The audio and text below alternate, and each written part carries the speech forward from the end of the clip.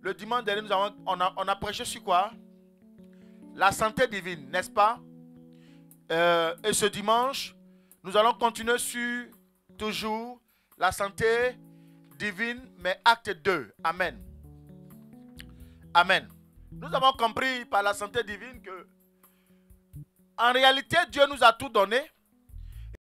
L'exemple de qui?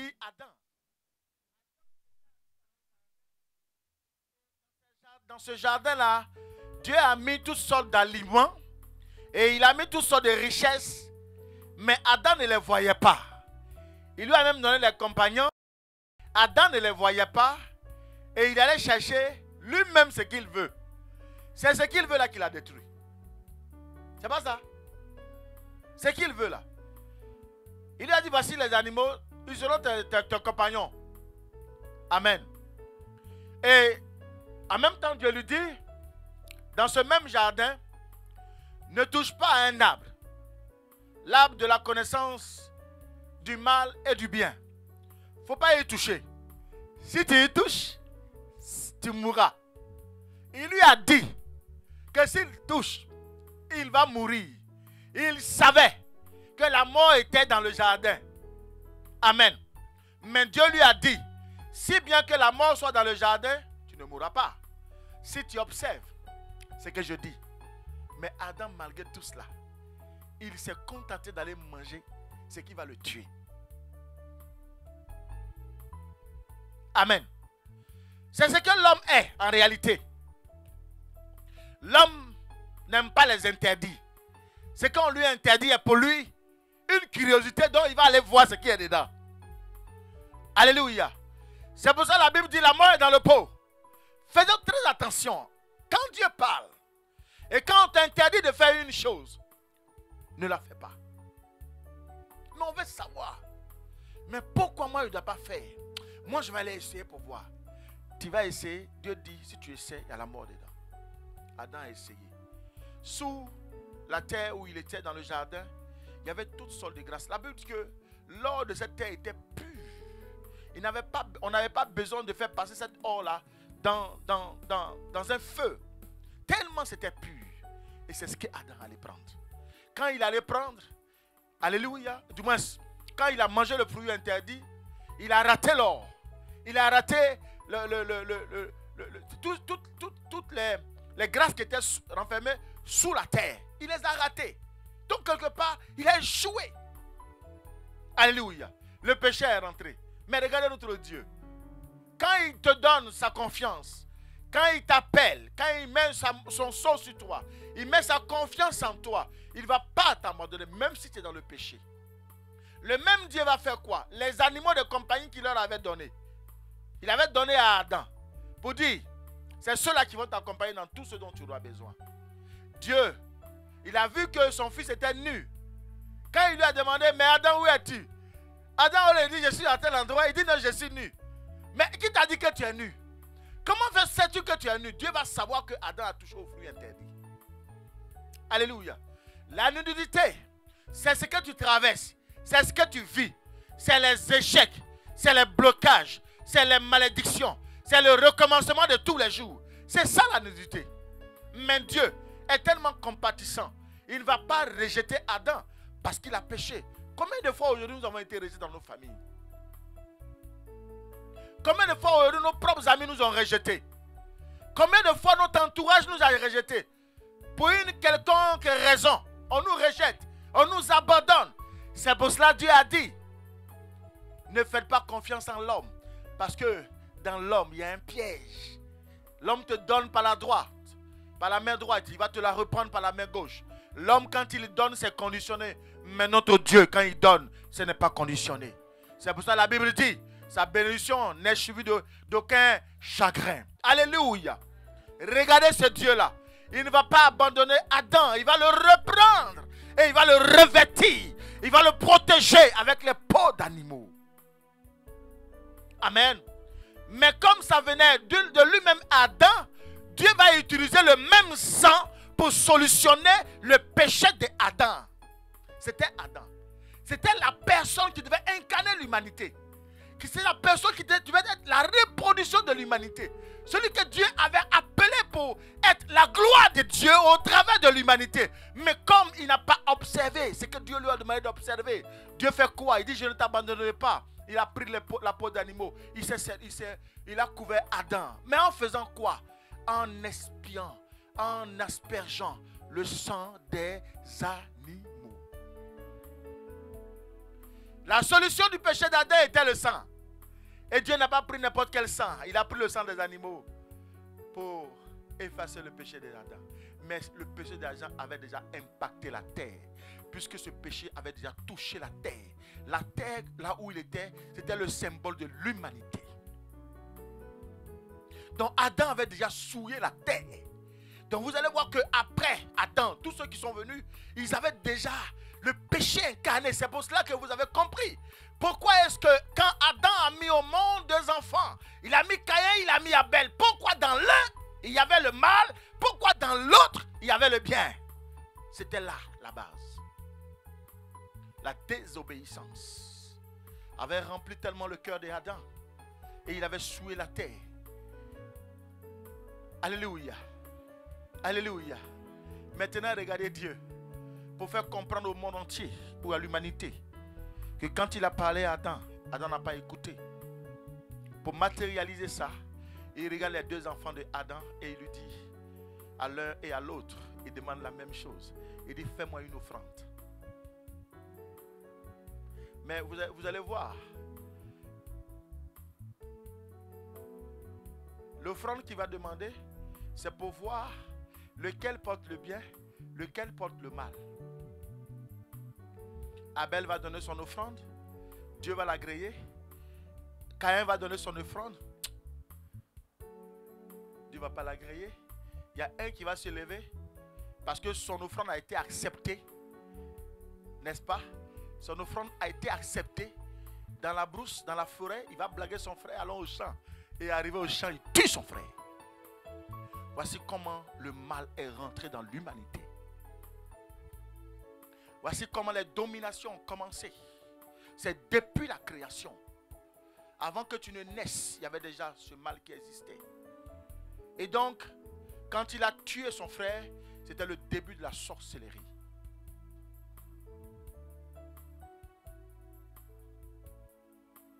C'était le début de la sorcellerie. Donc Adam, ou du moins Caïn, avait posé ce qu'on appelle le trône de la sorcellerie. Qu'est-ce qu'il a fait? Il a pris son propre frère, il a fait passer par la mort, afin que par son sang, le trône de la sorcellerie puisse avoir une puissance dans l'humanité. Voilà comment nous souffrons aujourd'hui. Donc vous comprenez que toutes les dominations qui parlent contre vous et sur vos, vies et contre ce que vous devez être en réalité, parce que Adam était prédestiné à une gloire. Il était prédestiné à une réussite excellente. Vous ne devez même pas avoir d'échec. La maladie ne devait pas rentrer. Elle n'avait pas sa place. La mort ne devait pas rentrer. On devait vivre plus de, plus de, plus de, plus de 500 ans. Mais quand Adam a permis cela, Dieu a réduit la durée de vie de l'homme à 120 ans. Sinon, normalement, on devait vivre 900 ans, 1000 ans et plus. Mais comme le péché est rentré, à cause de ce péché, la durée de vie de l'homme a été réduite à 120 ans. Ce qui fatigue, c'est les actes que nous posons. C'est ça. C'est ça qui est le problème de Dieu. Et c'est pour ça qu'il a dit dans Genèse, il dit le péché, il dit je me répands d'avoir créé l'homme, n'est-ce C'est bien ça. Tellement le cœur de l'homme est attaché au mal. Alléluia. Et il va dans Esaïe, il dit Qui enverrai-je? C'est ça? Qui enverrai-je? Dieu a cherché. Après Adam, il y a eu Noé, il n'y a pas eu de solution. Alléluia. Il a commencé à chercher des alliances, il n'y a pas eu de solution. Il en a eu neuf au total d'alliances, il n'y a pas eu de solution. Dieu dit non. Je dois, je dois, je suis quand même Dieu. Toutes ces dominations sont venues de moi. Comme vous lisez Colossiens 1, à partir du verset 12 à 15. toutes ces dominations, ces autorités, ces sorcelleries sont venues de moi. J'ai quand même la capacité de ramener quelqu'un qui va neutraliser cela. Alléluia. Et Dieu, dans sa magnificence, Dieu, il reste Dieu. Dieu, il reste Dieu. Personne ne peut se comparer à Dieu. Il peut façonner la vie de quelqu'un en une fraction de seconde. Il peut la détruire, il peut la ramener à la vie, il peut l'élever, il peut la il peut faire ce qu'il veut. S'il veut, que, veut que tu sois couché éternellement, tu resteras couché éternellement. S'il veut que tu sois debout éternellement, tu resteras debout éternellement. C'est ça qui fait la valeur de Dieu. C'est pour cela qu'il est Dieu. Et ce dont nous souffrons aujourd'hui, c'est ce que Adam a posé, que nos parents ont repris. Nos parents ont hérité de ça. Parce que le mal ne s'est pas arrêté là. Le mal a continué, il a, germé, il s'est multiplié. Il est parti de génération en génération. Les gens n'ont pas arrêté le mal. Mais seuls ceux qui ont réellement Christ en eux peuvent échapper de ce mal. Nous avons vu à la veillée comment le roi de Moab, étant, étant en train de perdre la guerre, il a pris son propre fils, celui qui devait le remplacer. Amen. Celui qui devait le remplacer, prendre son trône de roi. Il y avait une bataille entre lui et Israël, entre les Moabites et les Israélites. Et les Moab étaient en train de perdre la bataille. Pour ne pas ternir, lui, le roi, son image. Alors il prend son fils, il va euh, à la muraille et il le sacrifie. Il le tue. Alléluia. Et, le peuple d'Israël qui était à deux doigts de remporter la bataille, la Bible dit qu'ils ont été comment? Consternés. Ils ont fait demi-tour. Et les Moab ont gagné. Pour nourrir le trône de qui? Du roi. Pour donner une force spirituelle au trône de qui? Du roi. Voilà comment les principautés, les dominations prennent l'autorité et qu'ils dominent, ils règnent sur nos vies. Donc quand ils posent un fondement, c'est un fondement qui va bloquer ta vie et à jamais ta vie est bloquée. Donc à chaque fois qu'il fait le sacrifice humain sur ce trône-là, le mariage ne sera jamais possible dans ta vie.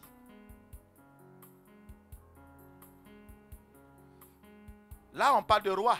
Mais le roi, par rapport au Moabite, c'est l'homme fort. Donc, ce qui va sortir pour nourrir le trône, soit il dira, aucun homme ne se mariera ou bien ne devient riche, ne devient riche ou bien quand il a les grands diplômes, à un, moment où il doit travailler, il meurt. Premier trône. Deuxième trône, bon, aucune femme, elles seront belles, mais dès qu'elles sont dans un foyer, dès qu'il y, a un enfant qui sort de ce foyer, on l'achète. Ou bien le mari s'en va, ou le mari meurt. Trône. Et ainsi de suite. Et ainsi de suite. C'est comme ça que sont érigées nos familles. C'est comme ça que sont érigées nos familles. Et dans chaque famille, il y a des trônes. Je vous ai donné l'exemple de ma famille. Le trône qui était dans ma famille, on ne passait pas les 42 ans. Tous mes parents, mes, oncles, c'est-à-dire que mes oncles, à commencer par mon père, mes oncles, ils sont passés tous. À, quand 42 ans doit arriver, pouf, tu meurs. Sur 42 enfants, il reste que deux enfants. 42 enfants. Je dis bien 42 enfants. Mon grand-père était, presque un roi, un chef. Il était un guerrier, il était très fort, puissant. Alléluia. Et c'est quelqu'un qui, il allait même chercher les, femmes de, ses cousins et puis il leur donnait. Alléluia. Il en a fait tellement d'enfants, 42. Et ces enfants, pas n'importe quel enfant qui, qui soit mort, mais il atteint un certain niveau d'études. Mon père était expert comptable quand il est mort. Son petit frère, pareil, expert comptable, bon, il a, il a été tué. Son frère, pareil, médecin, mort. Et ensuite de suite. Alléluia. Celui qui pouvait rester, qu'est-ce qu'il est devenu? Rien. Rien devenu. Il a terminé. Ils sont deux aujourd'hui qui sont au village. Et c'est ceux-là qui nous fatiguent.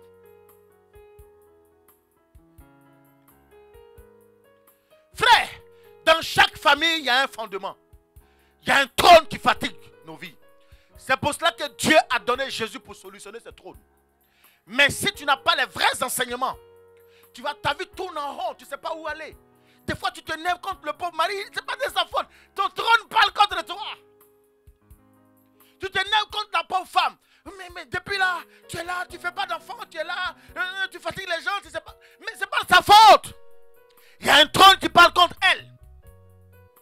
Tant que ce trône n'est pas renversé, sa vie ne peut pas connaître une stabilité. Il y a des trônes qui refusent la stabilité. Tu peux être belle comme tout, mais c'est pour jouer avec toi. Pour jouer, tu en auras. Mais pour faire à soi, il n'y en a pas. Est-ce que je parle à quelqu'un? Alléluia. Donc, voyez, le roi de Moab, il tue son propre enfant. Et il y a. Et vous savez, le trône, là, quand ils sont dessus, il n'y a pas d'âge. Hein? Je vous ai expliqué dans la parole dans 2 Chroniques 31, 33, à partir du verset 1. On a vu Manassé. Manassé avec quel âge? Il avait 12 ans quand il était roi. Et qu'est-ce qu'il faisait? Pour que son trône soit toujours puissant, il tuait. Il faisait les sacrifices humains. Et ensuite, qu'est-ce qu'il faisait par la suite? Il organisait maintenant, ça dit que dans, son, dans sa confrérie, il organisait les gens pour dire, bon, toi, tu t'occupes de cela pour le mariage, toi, tu t'occupes de cela pour le travail, toi, tu t'occupes de cela, par exemple, pour la richesse, et ensuite de suite. Et lui, maintenant, il était au-dessus de tous. À 12 ans, il était chef, il était roi. Alléluia. Roi à 12 ans. Et il, faisait passer ses enfants par le feu. Frère, frère, frère, je te parle d'une réalité. Le matin, tu es bien. L'après-midi, tu as mal à la tête. Si ce n'est pas la tête, c'est le bras. Si ce n'est pas le bras, c'est le cœur. Si ce n'est pas le cœur, c'est le dos. Il y a un trône qui parle contre toi. Et tout cela, leur force, c'est le sang. Mais le sang, le sang, le sang, le sang. Qu'est-ce qu'ils vont faire? Ils vont, ils vont mettre en place, je vous ai expliqué les stratégies. Soit tu es quelqu'un, tu, es euh, insatisfait dans ton foyer et tu es obligé d'avoir cinq maris, comme la Samaritaine. C'est une stratégie, ce n'est pas de ta faute. Mais ceux qui n'ont pas connu Christ, ils vont croire que oh, celle-là, elle est ceci.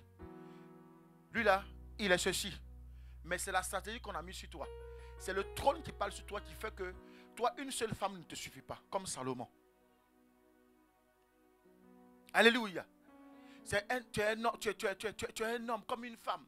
Mais ça dit que tout doit passer par le sexe. C'est le sang en train de parler. Afin que ta vie soit toujours assise, tu es condamné. Pour que ce trône puisse toujours te contrôler. Et tu ne rencontres que des gens qui sont bizarres.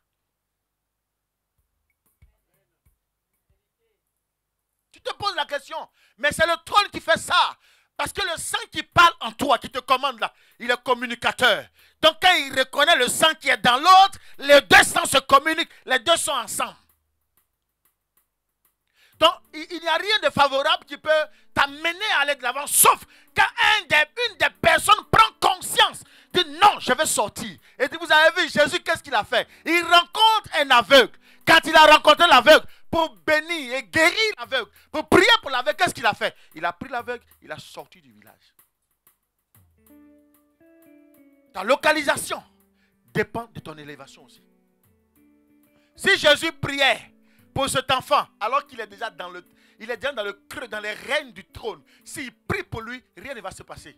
Mais d'ailleurs, vous avez vu, quand même, quand même il a déplacé un petit peu, la première prière de Christ, hmm, ça n'a pas marché. Est-ce que Christ a besoin de prier deux fois pour quelqu'un pour qu'il soit guéri? Même le fait de passer auprès de toi seulement là, ça te guérit. La femme qui perdait de sang, elle n'a pas eu besoin de plus de choses. elle a eu besoin de toucher son pain. Il a été guéri. L'enfant de Darius, est-ce qu'il a eu besoin de se déplacer? Il dit, ma parole te suffit. Ta foi t'a guéri. Le paralytique, est-ce qu'il a eu besoin de prier pour lui plusieurs fois? Qu'est-ce que tu veux? Que veux-tu que je fasse pour toi? Il dit, prends ton lit et marche. Est-ce qu'il a touché? Mais pour cet enfant-là, il a touché combien de fois? Deux fois. Le trône a un pouvoir. Le trône a une puissance. Vous qui êtes en Jésus, et point oui, point non, parce que tu fais ricagaga, tu crois que tu es assis. Fais attention à ta vie. Fais vraiment attention à ta vie. Visite ta vie intérieure comme extérieure. Il faut voir l'intérieur s'il n'y a pas une marque qui, est en train de te trahir. Et dire que toi, tu es invincible. Toi, non, moi, je suis, moi, je suis enfant de Dieu. Rien ne peut me faire. Mais tu te lèves là, tu vas coucher à l'enfant de quelqu'un, mari de quelqu'un. Tu mens, tu voles. Fais attention, il te contrôle. Fais en sorte que tes deux pieds soient réellement Jésus. Qu'est-ce qu'il a dit à Abraham? Quand Abraham est descendu en Égypte, quand il a repris Abraham Dieu, qu'est-ce qu'il lui a dit? Sois intègre. Ce qui va te libérer, ce qui va te sauver de ce trône, c'est ton intégrité. C'est-à-dire, il y a des choses, on ne négocie plus. Quand tu es enfant de Dieu, il y, a des, il, y a, des choses, on ne négocie pas. C'est comme ça ou rien. Et sois ferme. C'est ça l'intégrité. Est-ce que je vais parler à quelqu'un ce matin? Est-ce que je vais parler à quelqu'un ce matin? Donc face à ces dominations, il aurait fallu que notre Dieu nous trouve une solution. Regardez la vie de Batimé. C'était une vie de rejet. La, vie la femme qui perdait le sang depuis 12 ans. Mais c'est une vie d'humiliation, de, célibat. Tout ça, c'est les manigances du trône. Amen. Vous pouvez rencontrer des personnes, quand ils boivent, mais on dirait qu'ils ont bu leur cervelle. Ils ne se contrôlent plus. Il y a aussi des personnes, qui travaillent. Mais quand le mois finit comme ça, c'est au dehors, ils font leur programme. Tant que l'argent n'est pas fini, ils ne rentrent pas chez eux. Et ils font beaucoup d'enfants. Ces enfants sont nus. Chez lui, il n'y a même pas un tabouret pour s'asseoir. Ça, là, c'est le trône qui parle contre. C'est la stratégie mise en place par le trône. Alléluia. Et il y a des personnes aussi. Le mensonge. Dès qu'ils t'ont dit bonjour, il faut croire au bonjour. Mais après ce qui va suivre, tout est mensonge. Il te regarde droit dans les yeux comme ça, il te ment jusqu'à... Même le pasteur, il n'a pas peur de mentir au pasteur. Alléluia. C'est pas affaire de ainsi par l'éternel qui va te sauver. Non, non, non, non, non, non, non, non, non, non. C'est la prise de conscience de l'exemple de Jésus dans ta vie. Et dis, voici mes faiblesses. Moi, publiquement, j'ai parlé de mes faiblesses. Nous, la trône, c'était le sexe. On avait une instabilité. Aucun mariage ne pouvait rentrer dans ma famille. Aucun mariage. Mariage comme ça, civil, euh, civil. Mais vive à elle les femmes. Et puis un bon matin, on les frappe jusqu'à... Le lendemain, on les jette dehors. C'est pas ça le mariage. Parce que c'était le démon guerrier qui parlait. Très violent, colère. Et comme pour la plupart, c'était des personnes très très jolies, grands, forts, beaux. Moi, je ne suis pas beau là. Quand vous voyez mes, frères qui me suivent, ah oui, mais c'est des, quand vous les voyez, vous avez envie de les épouser tout de suite. Mais aucun mariage, aucun homme n'avait une stabilité. Aucun. Je vous dis aucun. J'ai une maison, lui il est grand comme ça, clair, costaud. Il est resté comme ça, il n'a pas eu d'enfant, il est mort. Mon propre père, il est resté comme ça, il n'a pas eu d'enfant, il est mort. Alléluia. Les femmes, là on ne parle pas. Tu les vois grandes comme ça, claires, jolies.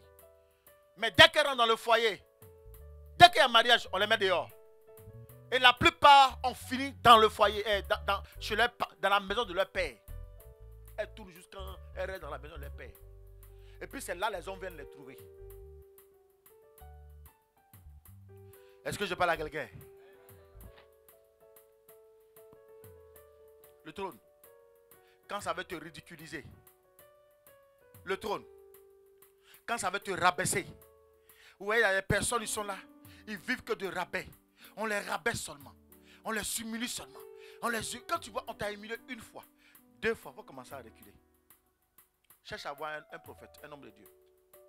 Il va prier pour toi. C'est qu'il y a un trône de rabais sur toi. C'est-à-dire que des fois, tu, tu as connu l'homme au départ quand il ne t'a pas encore découvert. Mais c'est l'amour fou.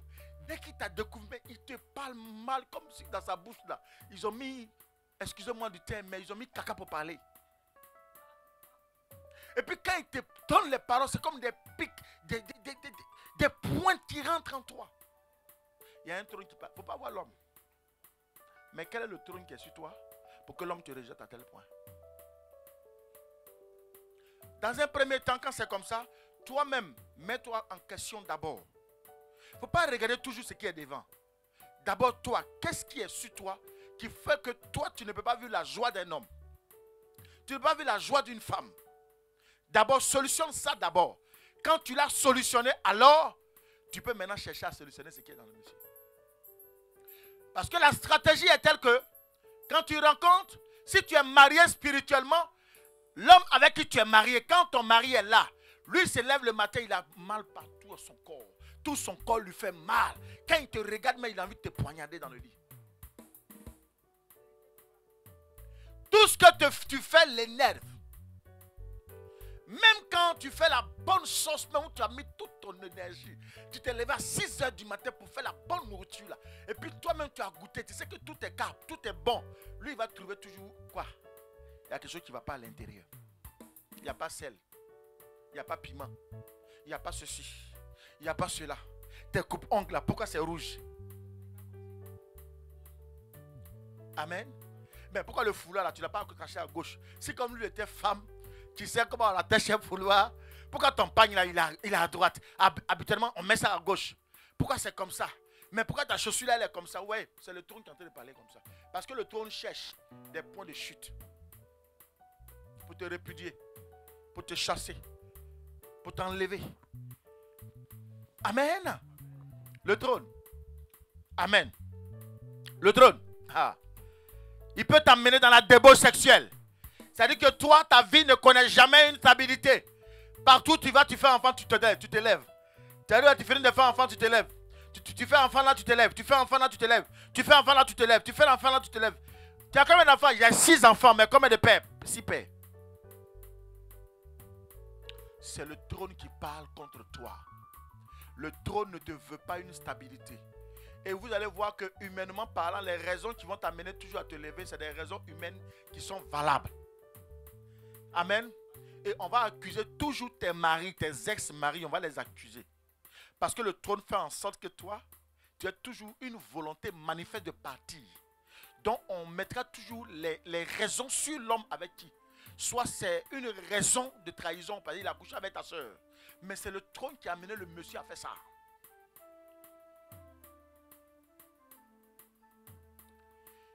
Est-ce que je vais parler à un enfant de Dieu? Est-ce que je peux encore te choquer? Le trône. Quand il veut te froisser. Oh là là. Amen. Je peux encore te choquer? Je peux encore te choquer? Très bien. Le trône. Soit tu es marié, tu es dans ton couple, tu fais le rêve de faire venir soit ta cousine, ta petite soeur, ou même ton frère à la maison. C'est-à-dire le trône, quand il veut parler en ta défaveur, il, incline le cœur soit de la femme, n'est-ce pas? Il va incliner le cœur de la femme. Et la femme est dans le foyer. Mais c'est le petit frère du mari qui l'intéresse.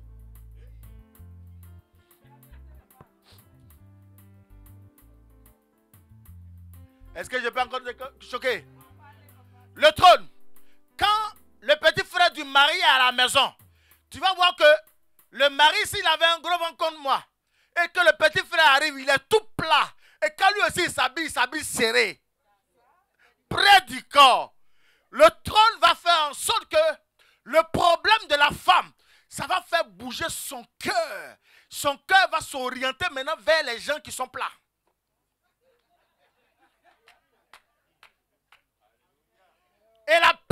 Personne que la, la personne aura à, à portée de vue, c'est le frère du mari.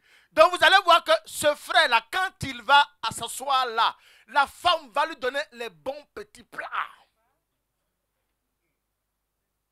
Les bons petits repas. Dès que le mari n'est pas là, accompagne-moi au marché. Accompagne-moi faire les courses. Ah, accompagne-moi ici, accompagne-moi là. Bon, tiens, 10 euros, ça commence.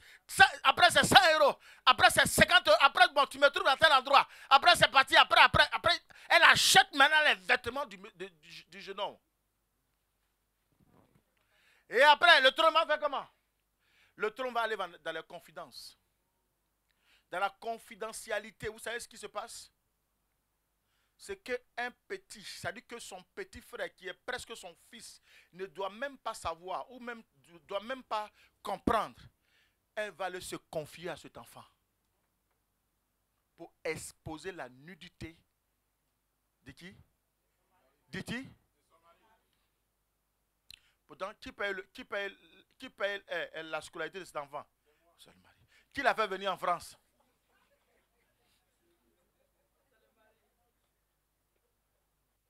Est-ce que vous voyez la statue du trône? Mais imaginez-vous le contraire. C'est-à-dire, la fille est à la maison.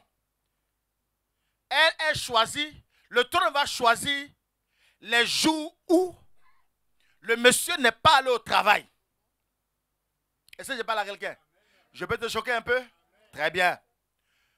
Le trône va communiquer à la personne, à la soeur de madame. Elle, elle est dans la maison avec son beau.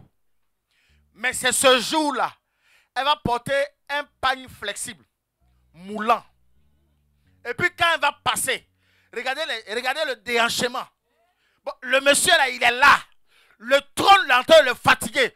Toi, tu viens passer.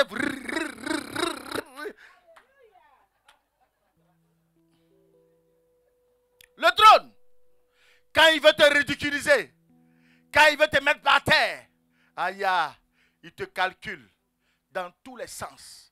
Alléluia. Et la soeur maintenant, c'est quand sa, sa soeur n'est pas là.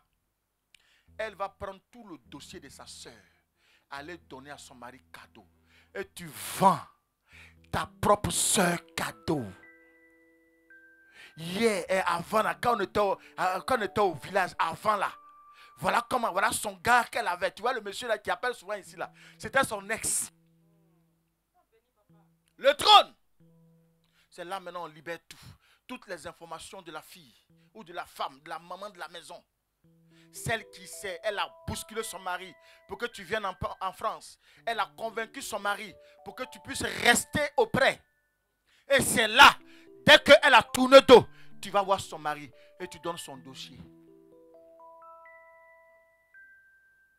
faut arrêter de lui donner trop d'argent. C'est parce que tu lui donnes trop d'argent, elle fait malin ici, là. Elle ne te respecte même pas. Moi, je vois ça. Elle, là, elle voit tout. Moi, je vois ça. Tu es, quelqu'un qui ne parle pas beaucoup. Mais regarde ce qu'elle fait. faut limiter un peu. Quand tu vas commencer à limiter, je pense qu'elle va se ranger. Et puis regarde, c'est voilà qu'elle fait matin, midi et soir là. Elle a un gars là-bas. Le trône. Le trône. Quand il veut te détruire, il est sans pitié. Mais vous allez voir après, quand l'homme va agir, qu'est-ce qu'on va voir?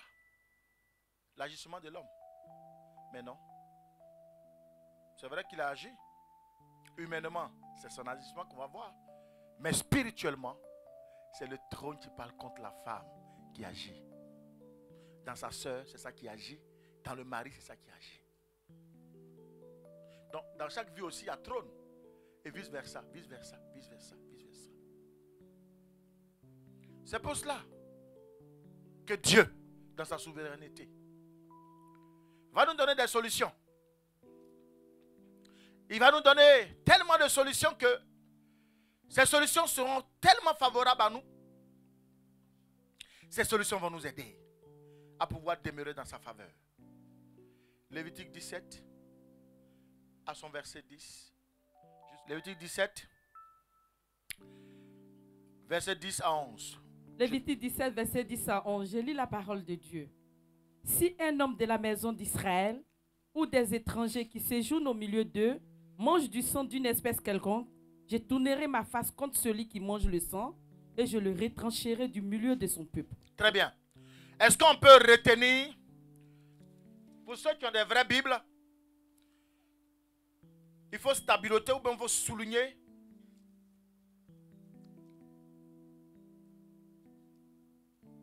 Si un, il faut souligner. Si un homme de la maison d'Israël ou des étrangers qui séjournent au milieu d'eux mange du sang d'une espèce Il quelconque, faut, faut souligner le sang.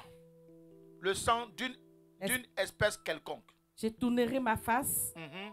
contre celui qui mange le sang Voilà. et je le retrancherai du milieu de son peuple. Souligne encore le sang. Et continue. Au verset 11, Souligne l'âme. l'âme de la ch- Oui, souligne l'âme de la chair. uh-huh. est dans le sang. Et dans le sang. Je vous l'ai donné sur l'autel afin qu'il sévit d'expiation pour vos âmes, car c'est par l'âme que le sang fait l'expiation. Amen. Est-ce qu'on a compris quelque chose? La Bible dit ici que c'est l'âme de la chair. L'âme de la chair est dans le sang. Amen. Donc nous comprenons que si nous voulons faire une réelle analyse, le sang en réalité c'est l'âme. Est-ce que je parle à quelqu'un? Donc quand quelqu'un veut t'avoir, il cherche à te détruire. Il a tout fait, il n'arrive pas. Quand il prend son propre fils et il le tue, afin que tu meurs, mais si tu n'as pas Jésus, tu passeras par la mort. Dieu va dire quoi? Pour mettre fin à toutes ces tribulations, mettre fin à tous ces hôtels, mettre fin à toutes ces pratiques, moi, Dieu, je donne mon fils Jésus afin que son âme puisse servir d'expiation ou à l'autel. Donc vous allez voir, si quelqu'un bâtit un hôtel contre toi, mais par le sang de Jésus, son hôtel sera neutralisé. C'est pour cela fais, je parle, je pleure devant la face de Dieu pour vous, afin que vous, vous saisissez Jésus réellement. Ce n'est pas moi, en tant que pasteur Zadi, qui vais vous sauver. Jésus me donnera les informations qu'il faut pour vous les donner. Il me donnera l'onction pour prier pour vous. C'est vrai, je vais vous accompagner, c'est vrai. Mais ta relation personnelle avec Jésus doit t'apporter la vie. Ceux qui n'ont pas de relation personnelle, ah, ça va être dur. Ça va être dur, mon frère. Je vous dis la vérité. Si tu n'as pas une relation personnelle, si tu veux vivre 120 ans, tu, tu vivras la moitié. Parce que comprenez une chose, que tu as fait quelque chose de mal ou même de bien, les gens seront contre toi. C'est une loi qui est établie et c'est Adam qui nous a fait ça. Il nous a fait la chose là. Les gens sont contre nous. Quand on est bien fait ou quand on est mal fait, ils sont contre nous. Mais ceux qui seront épargnés, que ceux qui auront Jésus. C'est comme quand le peuple d'Israël devait sortir de l'Égypte. Qu'est-ce que Dieu a fait? Il a, donné une parole, une information à chaque lévite, à chaque euh, israélite, afin que chacun d'eux prenne le sang de, l'agneau, n'est-ce pas, et le mette sur les linteaux de leur porte. C'est ça. Donc quand l'ange de la mort vient, hum, ici là, il ne peut pas rentrer. Il n'entre pas. Est-ce que je parle à quelqu'un? Les maladies que nous vivons aujourd'hui, tout ce qui est maladie, il faut que nous sachions que tout ce que nous traversons aujourd'hui vient, toutes ces maladies, le caractère, les blocages, les échecs, tout ce qui est les, erreurs répétées, les malformations, les maladies consanguines proviennent des relations consanguines. Je, je vais ouvrir une brèche à quelqu'un. Toi, tu vois ton cousin et puis tu es chaud comme ça. C'est quand le jour où le cousin vient à la maison, c'est là il, sort tout son vêtement. le cousin. Les deux parents sont frères. C'est ce jour-là, le cousin là vient. Non, mon cousin est trop choco. C'est là, tu fais tes déhanchements. C'est là, tu sors. C'est toute la gentillesse. Alors qu'à la maison, ton propre petit frère te demande 10 euros, tu ne peux pas donner. Mais le jour le cousin vient, tu as fait le plus grand repas de la maison. Le gars, il ne comprend rien. Mais tu es en train de préparer ton coup. Le trône de la consanguinité est en train de parler contre toi. L'insecte. Celui qui a posé Lot et ses filles. D'où sont sortis les Moabites et les Ammonites. C'est un trône qui est très, très violent, très dangereux. Les maladies, dites maladies de sang, ça, c'est extrêmement dangereux. Les maladies, sida, tout ce qui est maladie des os, comment on appelle la maladie là? Drépanocytose. Les maladies de bouteilles, où les os se cassent. C'est. Hein? Maladie de verre. Moi, j'appelle ça bouteille. C'est pareil, verre, bouteille, tout ça. C'est pour devenir verre. C'est passé par bouteille, ma fille. Tu es béni, mon enfant. La maladie de verre, mais en techniquement, c'est comme ça qu'on l'appelle. Oui, les de verre. La personne est là un bon matin, bref, tes os se cassent comme ça. C'est une maladie liée au sang. C'est les hôtels, la leucémie, tout ça. Amen. C'est un hôtel qui parle contre toi et qui t'inculque dans ton sang, le faux sang. Et ton sang est contaminé. Oui, il y a des personnes, ils pas, elles n'ont pas fait exprès. Mais ils ont un, ils ont un problème d'odorat. Quand elles ouvrent leur bouche, tu ne peux pas rester auprès d'eux. Il y a un hôtel d'humiliation qui parle contre toi de sorte que toutes les femmes te rejettent. Y a dedans pourri, gâté. Amen. C'est-à-dire quand la personne est seule dans une, dans une chambre enfermée, quand toi tu arrives comme ça là, tout est gâté. C'est gâté. C'est de sorte que quand un homme ou une femme t'approche, il dit, elle est jolie, hein, mais...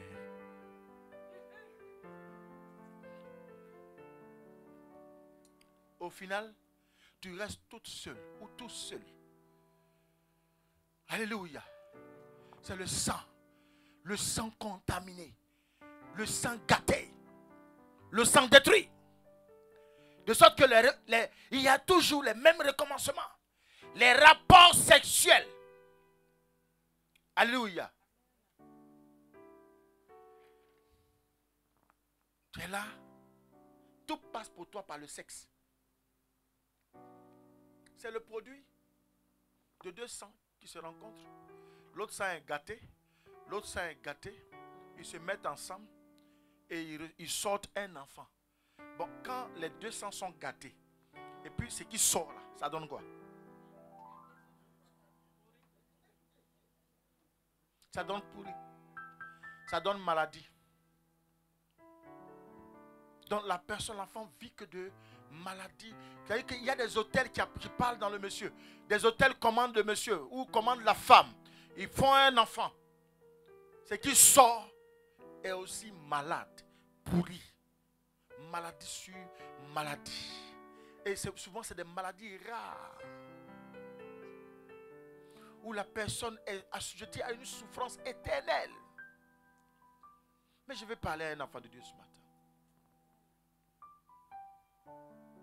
Si tu crois que Jésus est ta solution, quelle qu'en soit la maladie, incurable, qui depuis le temps détruit ton âme et ta vie, et tu as tellement dépensé ton argent. Regardez la femme qui perdait le sang. La Bible dit qu'elle a dépensé tout son argent. Il ne lui restait rien. Là où il ne te reste plus rien, c'est là que Jésus interviendra. Là où tu sais que tu es réellement fatigué, il n'y a plus de solution. Je te dis ce matin, je te dis, aujourd'hui, Jésus va intervenir dans ta vie. Alléluia. Il ne cherchera même pas à savoir Mais qu'a-t-elle fait ou qu'a-t-il fait C'est pas ça qui l'intéressera. Ce qui l'intéresse, il sait que s'il te sauve, derrière toi, des âmes, des vies seront sauvées. Jésus va te sauver aujourd'hui. Je ne sais pas de quelle maladie tu souffres. Je ne sais pas ce qui a détruit ton âme. Je ne sais pas le sang, qu'est-ce qu'il a contaminé. Je ne sais pas ce qui a empoisonné ton sang. Mais Jésus est en train de me dire, il t'a envoyé le meilleur sang aujourd'hui. Le sang qui restaure, le sang qui guérit, le sang qui élève, le sang qui apporte la vie. Jésus apportera ta vie ce matin.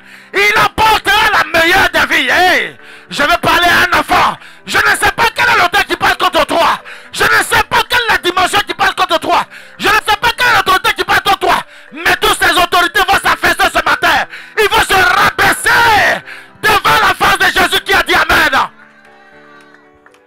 Alléluia. Assieds-toi. Regardez, des gens normalement conçus vont se lever, des femmes, elles vont se lever, vont le coucher avec leur propre père. Pensant, regardez, quand elles donnent la raison, humainement parlant, c'est normal. Si on ne fait pas ça, notre père n'aura pas de descendants. Amen. Parce qu'en Israël, la descendance là est très importante. C'est pour ça là-bas, les premiers-nés là sont choyés. Ils sont automatiquement ceux qui vont succéder leur père. Mais malheureusement pour elles, dans leur cas, il n'y a pas de garçon dedans. Elles sont deux filles. Elles se lèvent. On ne va pas le lire. Dans Genèse 19, verset 30 à 38. Elles se lèvent. Elles vont donner de la boisson. Regardez. hein. Regardez le trône. Regardez le trône. Regardez le trône. Elles vont quoi? Elles donnent la boisson à leur père. Papa, faut boire. Papa, faut boire. Mais en donnant la boisson au père, elles ont le plan dans leur tête. Papa, faut boire. Et la première se lève. Elle donne la boisson. Le père est ivre. Elle allait prendre pour elle. Elle allait coucher avec son père. Ça dit. Et ce qui est grave, c'est-à-dire que quand le trône veut parler, c'est-à-dire qu'ils sont tellement minutieux dans leur organisation. Elle savait qu'elle était dans la mauvaise période. Le jour, elle a donné la boisson, à son père. Elle savait qu'elle était dans la mauvaise période. Donc, elle va prendre un élément nuisible qui est la boisson, l'alcool. Toi qui ne veux pas t'éloigner de l'alcool. Non, je bois juste un coup à table. Un chrétien, il n'y a pas fait de Dieu un coup, un, deux coups, trois Dieu a dit à Abraham, sois intègre. C'est ton manque d'intégrité là qui t'a fait descendre en Égypte. Dès que tu prends ça, tu es obligé de descendre. Il y a des personnes, quand elles prennent l'alcool là, s'il n'y a pas de sexe à faire coco, elles ne sont pas tranquilles. Ou ils ne sont pas tranquilles. C'est leur stimulant. Toi-même, tu connais ta faiblesse. Tu sais ce qui te fait tomber. Tu sais ce qui fait que ah, tu ne peux plus tenir. Quand on t'a donné ça, c'est fini. Tu vas prendre pour dire, je vais prendre un peu. Et quand tu finis de prendre un peu, tu divagues. C'est que tu ne devais pas sortir de ta bouche, tu le sors. Tout ce que, tous les secrets, tu sors. Tu parles, tu parles, tu parles, tu parles. Tu ne sais plus t'arrêter. Parce que là, tu n'es plus, tu n'es plus conduit par toi-même. Tu es conduit sur le fait de ce que tu as pris. Le stimulant de la boisson. Et regardez les enfants de l'autre. Ils vont prendre la boisson, donner à leur père. Le père boit. Elle se lève, elle couche avec son père. Et vous savez, elle savait pertinemment que à cette période-là, elles seront enceintes. Dès le premier acte. Et puis elle va dire à sa soeur aînée, euh, lève-toi aussi, va faire la même chose. Elle aussi, elle vient, elle donne, elle donne, elle donne. Le père, il, il boit seulement. Il boit. Amen. Lui, Il est ivre. Il est ivre, mais il arrive à, il arrive à s'élever quand même. Il est ivre. Dans son alcoolémie, là, il est dedans. Mais il voit clair. Alléluia. Je suis en train de vous parler. La Bible décrit des choses qui se passent en réalité. Si nous n'en prenons pas garde, nous serons toujours soumis à ça. Fini de boire l'alcool, lui aussi, pouf, elle aussi, elle passe par là. Et le premier enfant, Moabite, deuxième enfant, Ammonite. Dieu va les vomir. Il va les maudire. Il va, les rejeter. Alléluia. Frère, et c'est eux là, Sodome et Gomorre. Faites en sorte que Dieu ne te maudit pas. Que Dieu ne te rejette pas. Fais, fais en sorte. Je, je- pourrais dire, je préfère encore que ça vienne de l'autre, que ce soit l'autre qui soit contre toi. Mais que toi-même, tes propres actes n'amènent pas Dieu à te rejeter ou à te maudire. Frère, je préfère encore que ce soit l'autre qui fasse des hôtels. Mais face à la, résolution de ces hôtels, Dieu te donne ce matin la solution. Alléluia. Amen. Est-ce qu'on peut acclamer un peu Jésus?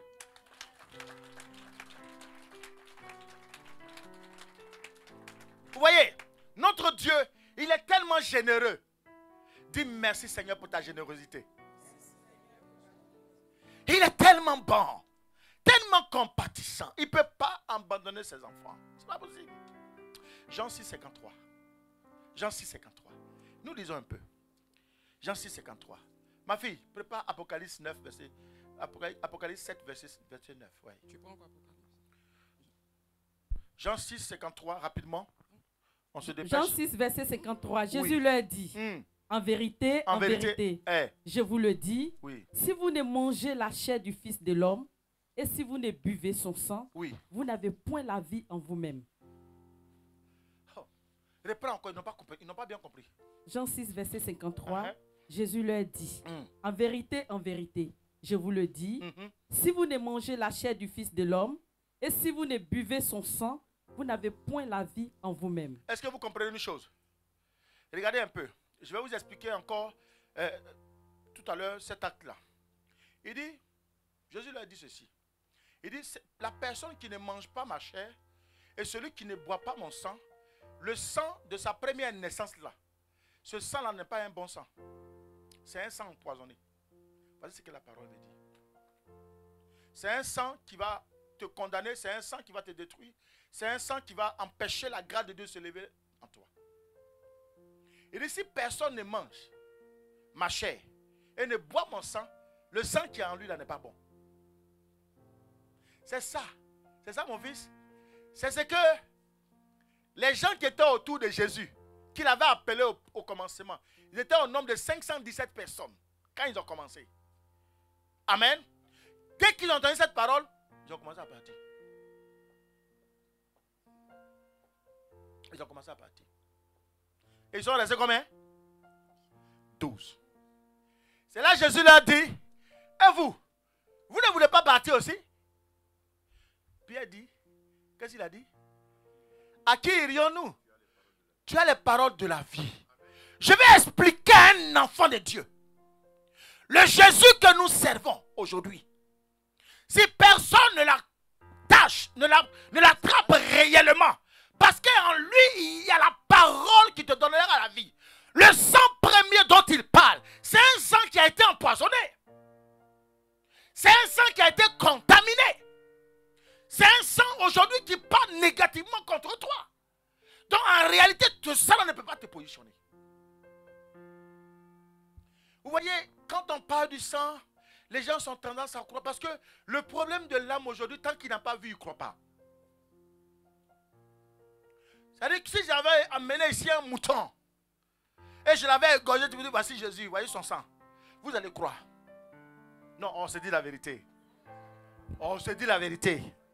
Si j'ai dit aujourd'hui, voilà, petite bouteille comme ça, euh, 50 euros, vous allez courir. Parce que le problème de l'homme, il faut qu'il voit, il faut qu'il touche, il faut qu'il possède pour pouvoir croire. Mais la foi n'est pas dans ce qu'on ne voit pas et dans ce qu'on voit. La foi est dans ce qu'on ne voit pas, mais qu'on croit. C'est là le miracle commence. Alléluia. Le miracle dont tu parles longtemps, que tu attends, je vais voir le miracle. Seigneur, je vais voir ton miracle. Mais le miracle va venir à quel moment?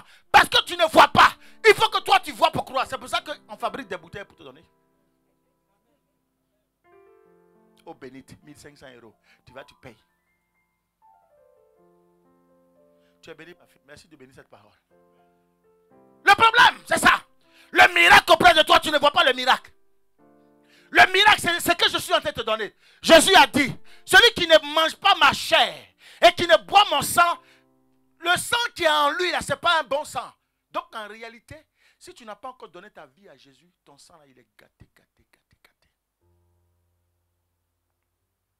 Imaginez-vous. Vous savez pourquoi aujourd'hui la sorcellerie a pris les contrées des villages? Vous savez pourquoi? Parce qu'on ne leur a pas envoyé la. On ne leur a pas envoyé les informations. Et vous savez, beaucoup pleurent. Beaucoup pleurent quand on leur explique Jésus. C'est pour ça en France ici, il y a eu des sorciers qu'on a brûlés vivants. Les gens d'Arc et autres. On les a brûlés vivants. Quand ils ont découvert l'impact de la sorcellerie, on les a brûlés. Il y a des, il y a des gens qu'on a brûlés, mais vivants ici. Il y a eu une révolution contre la sorcellerie. Quand vous allez surtout euh, dans le. Comment on appelle le coin là? Là où il y a beaucoup d'eau, là, la mer là. Normandie. C'est là. Le siège, le trône était. Et c'est là qu'on a brûlé les gens vivantes. Alléluia. Il n'y avait pas plus sorcier que le blanc. Non. Vous, ce que vous faites là, c'est rien ça. Il n'y avait pas plus sorcier que le blanc. Et après, ça changeait de camp. C'est allé, ils ont transféré ça en Afrique. Quand ça arrivait vers, vers notre continent, nous maintenant, dit que des gens, quelqu'un, et, puis ils sont là, ils ne savaient pas qu'ils pouvaient se retrouver ici et puis en même temps se retrouver à New York. Donc pour lui, c'est un exploit, c'est une victoire, c'est une force. Et comme le cœur de l'homme au commencement est mauvais, il n'a pas eu la grâce d'avoir Jésus. Parce que nos parents étaient typiquement animistes, mais brutalement animistes. Leur force de conjugaison, même d'échange, c'était la comparaison des fétiches. Qui est plus fort que l'autre? Quelle famille est plus forte que l'autre? C'était ça. Est-ce que je parle à quelqu'un? Donc du coup, que s'est-il passé? Ils n'ont pas eu Jésus. Ils n'ont pas cherché à aller plus loin. Ils sont restés dans leur ignorance et l'ignorance les a perdus parce qu'ils sont restés dans la sorcellerie. Alléluia. Le problème de la sorcellerie chez nous, vers, les coins reculés, particulièrement, il y en a partout, mais particulièrement en Afrique, où elle est très morte, elle est très meurtrière. Le sorcier n'a pas pitié. Quand il est dans sa phase 2, mais il n'a pas pitié. Elle est très meurtrière. C'est le manque de Jésus en nous. Et j'ai dit à Dieu, moi si je dois bâtir en Afrique, je ne m'assois pas en ville. Je dois partir dans les zones rurales pour remonter vers la ville.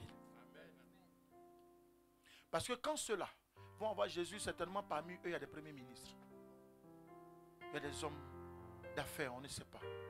Mais ils n'ont pas eu Jésus. Vous, vous avez eu Jésus. Mais vous voulez toucher d'abord avant de croire. Ça, si est dit tout de suite là, pendant le Jéricho, venez avec des bouteilles. La salle sera remplie. Vous savez, depuis un temps, je ne fais plus d'actes prophétiques. Hein. C'est biblique les actes prophétiques. Hein.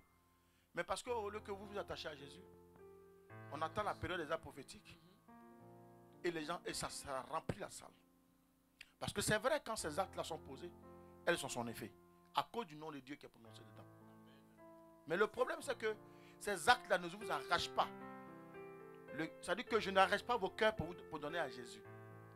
Ce que je veux, je ne souhaite pas que vous vous attachiez à moi, mais que vous vous attachiez au réel Jésus. En vous expliquant les vérités cachées de la souffrance de l'homme. Alléluia. Regardez. Celui qui ne mange pas ma chair et qui ne boit mon sang, le sang qui est en lui là. Elle est quoi? Vous avez compris? Donc on comprend que le sang, c'est la vie. Ce qu'on cherche là, c'est le sang. Quand ton sang est gâté, c'est fini. Mais regardez même quand vous allez à l'hôpital. Qu'est-ce que l'hôpital fait? La première des choses, prise de sang, analyse directe. On cherche qui a tué, et que le, euh, le meurtre s'est passé dans un endroit, qu'est-ce qu'on fait? Empreinte digitale. Le sang, l'ADN. C'est pas ça? Donc vous comprenez que Jésus, ayant compris ça, Dieu ayant compris cela, il a solutionné le sang de Jésus par le sang des bêtes. Afin que quiconque croit en lui ait la vie éternelle. Est-ce que tu peux acclamer Jésus ce matin?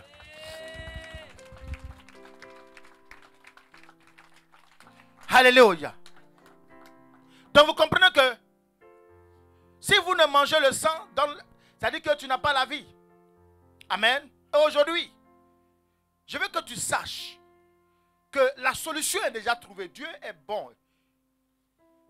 Il a déjà trouvé la solution. La solution qui te fait tant souffrir, Dieu l'a déjà trouvée. Par le sang de Jésus. Tout à l'heure, nous allons prier. On va faire de fortes proclamations. Nous allons appeler le sang de Jésus sur nos vies. Tu vas aller à la racine même de ta base, de ta vie même. Ta vie peut être gâtée, gâtée depuis. Mais aujourd'hui, Dieu va réparer. Je ne sais pas. Même si tu es malade du sida, aujourd'hui, tu vas être guéri. Alléluia. La maladie incurable qui t'effraie. Tu dors la nuit, tu as mal aux os. Aujourd'hui, là, tu vas être guéri. Amen. Alléluia. Gloire à Jésus. Selon la mesure de ta foi, tu vas être guéri. Amen. Si tu crois, tu vas être guéri. Regardez. Apocalypse 17, verset 9. Mhm. Parole du Seigneur. Oui. C'est ici l'intelligence qui a de la sagesse. Apocalypse 7, hein? 7. Oui, c'est ça. Apocalypse 7. Apocalypse 7, verset Neuf. 9. Après cela, je regardais et voici, il y avait une grande foule que personne ne pouvait compter, de toute nation, de toute tribu, de tout peuple et de toute langue. Ils se tenaient devant le trône et devant l'agneau revêtus de robes blanches et des palmes dans leurs mains. Verset 10. Et ils criaient d'une voix forte, En, En disant. disant. Ah, Le salut est à notre Dieu qui est assis sur le trône et à l'agneau. Alléluia. Verset 11. Verset 11. Et tous les anges se tenaient autour du trône et des vieillards et des quatre êtres vivants, et ils se prosternaient sur leur face devant le trône et ils adoraient Dieu. Verset 12. En disant, Amen. La louange, la gloire, la sagesse, l'action de grâce, l'honneur, la puissance et la force soient à notre Dieu au siècle des siècles. Mhm. Amen. Verset 13. Oui. Et l'un des vieillards prit la parole et me dit, Ceux qui sont revêtus de robes blanches, qui sont-ils et d'où sont-ils venus? Écoutez la réponse. Je lui dis, Mon Seigneur, Tu tu, le le sais. ah. Et il me dit, ce sont ceux qui viennent de la grande tribulation. Ils, ils- ils ont lavé leurs robes et ils les ont blanchis dans le sang de l'agneau. Alléluia. Gloire à Jésus. Ce sont ceux qui viennent d'où? De la grande tribulation. Ceux qui viennent de la souffrance. Ceux qui sont bloqués. Ceux qui sont malades. Ceux qui sont estropiés. Ceux qui sont condamnés. Ceux dont la vie n'a pas de sens. Ceux qui sont, on va dire, dans la pauvreté. Ceux qui sont dans les pleurs, dans l'agonie. C'est ceux-là qui sont assis devant le trône avec leurs robes blanches. Certainement hier, les robes étaient noires. Certainement la vie était difficile, la tribulation. Quand quelqu'un est dans une tribulation, on ne peut pas imaginer. Lequel tribulation s'agit-il Est-ce dans le feu? Est-ce dans la mort? Est-ce dans le chômage?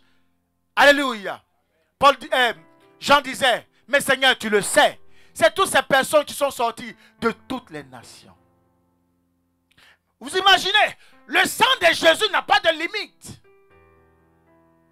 Le sang de Jésus peut aller jusqu'à l'extrémité de la terre. Si quelqu'un détient ta vie et qui ne veut pas la lâcher, c'est ceux-là, tu fais partie de ceux-là qui sont dans la tribulation. Tu fais partie de ceux-là qui sont dans les pleurs et qui a besoin d'avoir une libération. Une délivrance véritable. Et je vais annoncer, annoncer à un enfant de Dieu, tu seras libéré aujourd'hui. Je vais annoncer à un enfant de Dieu, je ne sais pas quel est celui-là qui est localisé quelque part et qui est assis sur son trône et qui ne veut pas lâcher. Mais la Bible me dit ici qu'il y a un trône qui est dans le ciel Amen. où le roi des rois est assis et il est en train de regarder, il met en revue ceux qui s'étaient hier condamnés, il met en revue ceux qui étaient bloqués, il met en revue ceux qui étaient paralysés, malades, ceux qui n'avaient pas de solution. Et je veux dire à un enfant de Dieu, ce matin Jésus te visite et il te libère. Et il dit à celui-là même qui est assis sur son faux trône et qui parle négativement sur ta vie, il dit aujourd'hui c'est la fin de son règne. C'est la fin de son règne. C'est la fin de son règne qui a dit Amen. C'est la fin de son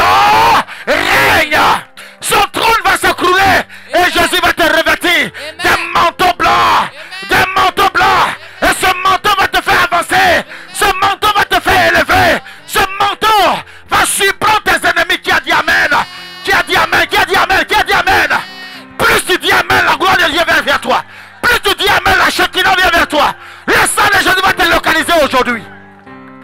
Alléluia. Frère, tu ne sais pas que tu as quelque chose de merveilleux. Le diable cherche ça, mais il ne peut pas avoir. Alléluia. Quand tu l'as, glorifie ce Dieu-là. Alléluia. Ton sang, les gens sont là. Ils te cherchent, ils t'accusent. Un oui, un non, on t'accuse. Alléluia. Tu n'as tu n'as pas parlé, on dit tu as parlé. Ton nom est dans tout. C'est un trône qui parle contre toi. Amen. À peine tu passes devant quelqu'un, le fait, simple fait même de te voir, il est fâché contre toi. Tu ne lui as rien fait. Son trône, le trône là, ça parle. Mais Jésus me dit ce matin, il dit, mais qui sont ceux-là? L'ange dit, mais, au verset 14, il dit, oui, vas-y, mon Seigneur. Mon tu le sais. Seigneur, tu le sais. Et il dit, il Mm. me dit, ce sont ceux qui viennent de la grande tribulation.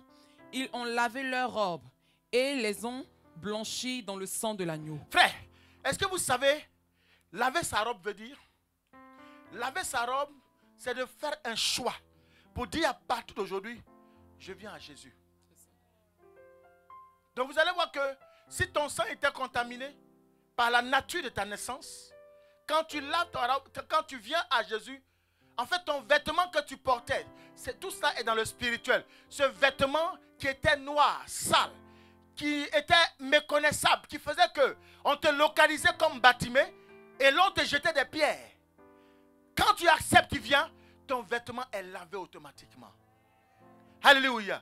Et aujourd'hui, ton vêtement sera lavé. Amen. Il a dit ton vêtement sera lavé. Ton vêtement sera lavé. Il a dit ton vêtement sera lavé. Ton vêtement sera lavé. Ton vêtement sera lavé. Au nom de... Les gens, vous savez, assieds-toi, assieds-toi un peu. Les gens veulent simplement savoir, ils veulent se réjouir que tu es malade. C'est dans ta maladie, c'est dans ton échec que les gens se réjouissent. Alléluia. Mais aujourd'hui, quand ils vont te chercher, ils ne vont, plus jamais te voir. Dans leur caméra mystique, on ne te verra plus. Dans leur caméra mystique, on ne te verra plus. Parce que tu as, pris le, fait le bon choix, tu as pris la bonne décision. Et tu as décidé d'être à Jésus, dont ton vêtement a été lavé. C'est parce que ton vêtement avait des taches qu'on te voyait. C'est parce que ton vêtement avait des taches que la mort te voyait. C'est parce que ton vêtement avait des taches que la pauvreté te voyait. C'est parce que ton vêtement avait les, les taches que le célibat te voyait. Mais à partir d'aujourd'hui, tu feras le bon choix. Le choix de choisir Jésus. Et ton vêtement sera blanchi. Ton vêtement sera blanchi. Ton vêtement sera blanchi. Ton vêtement sera blanchi. Parce que tu as accepté le trône. Le trône de la grâce. Le roi des rois viendra vers toi. Et il te lavera de toutes tes, il te lavera de toutes tes iniquités. Il te lavera de toutes tes tribulations. Hey! Est-ce qu'un enfant de Dieu est béni ce matin? Acclame fort le Seigneur encore. Alléluia. Les gens n'ont rien compris. Dis à quelqu'un, ils n'ont rien compris. Ils n'ont rien compris. Dis-le encore, ils n'ont rien compris. Alléluia. Tu te rends compte? Quand ton vêtement est lavé et que le sang de Jésus descend en toi, même si tes organes, le cœur, c'est-à-dire que tes organes vitaux, Jésus vient, la première des choses qu'il fait, c'est de purifier, laver, nettoyer tous tes organes. Je vais annoncer à quelqu'un, si quelque part tes organes vitaux avaient connu la maladie, la maladie est libérée maintenant. Parce que le sang de Jésus vient vers toi pour libérer ton cœur. Si tu avais une maladie sur ton cœur, ton cœur est libéré maintenant. Ton cœur est guéri au nom de... Ça Jésus. Il va jusqu'à l'extrémité de la terre. Et pour ôter l'habit de péché, pour ôter le vêtement qui va te porter en jugement contre Dieu. Parce qu'il est Dieu. Alléluia. Alléluia. Le sang de Jésus mène une rupture totale entre les liens familiaux qui nous donnent la destruction. Nous allons les versets- on reste dans l'Apocalypse. On va le verset 15. Regardez. Mhm. À partir du verset 15. Oui. C'est pour cela qu'ils sont devant le trône de Dieu et le servent jour et nuit dans son temple. Ah, ah. Celui qui est assis sur le trône dressera sa tente sur eux. Ils n'auront plus faim. Ils n'auront plus soif. Écoutez-moi, écoutez-moi, écoutez-moi. Écoutez-moi. Quand, vous savez, des fois j'ai mal de savoir que des enfants de Dieu qui, sont- qui disent qu'ils sont devenus chrétiens, et le jour de servir le Seigneur, ils sont assis chez eux. Il y a beaucoup de gens qui prient chez eux à la maison maintenant. Je vais vous dire une vérité qui va vous choquer. Je peux parler?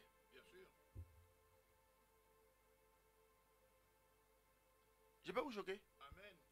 Toi qui fais ton culte à la maison sur les réseaux sociaux, rien de bon ne viendra dans ta vie.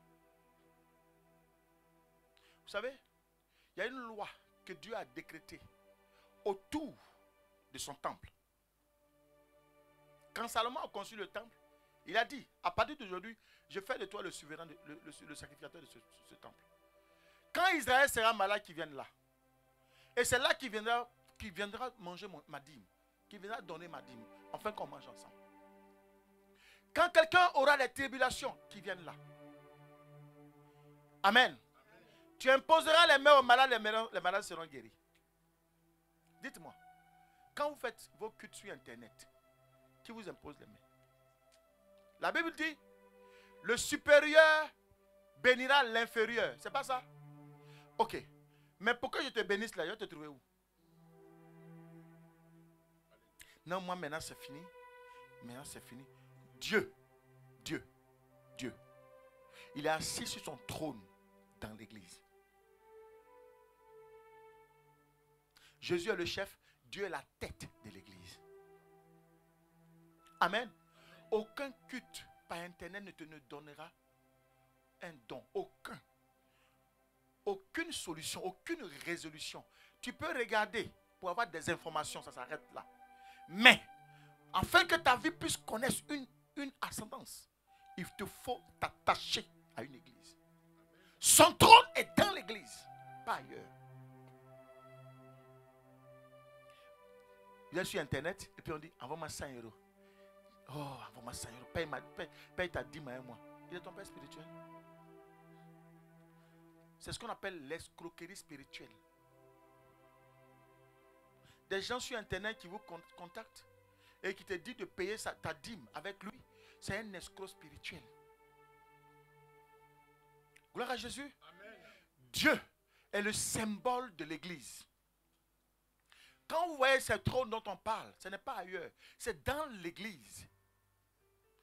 On dit ceux qui servent, c'est ça? Reprenez-moi la lecture. C'est Ah, pour cela, Oui, vas-y. Verset 15. C'est pour cela qu'ils Oui. sont devant le trône de Dieu Uh-huh. et le servent jour et nuit dans son Écoutez-moi, écoutez-moi, écoutez-moi, écoutez-moi.